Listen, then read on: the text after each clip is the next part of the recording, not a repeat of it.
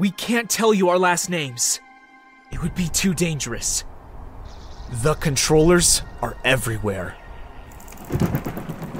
Everywhere!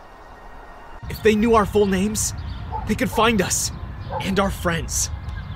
And then. Well, let's just say we don't want them to find us. We won't even tell you where we live. What they do to people who resist them is too horrible to think about. You'll just have to trust us that it is a real place, a real town. It may even be your town. We're telling you this so that more people will learn the truth.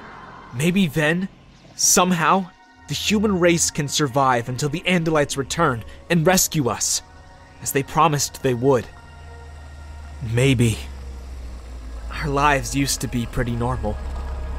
Normal, that is, until one Friday night at the mall.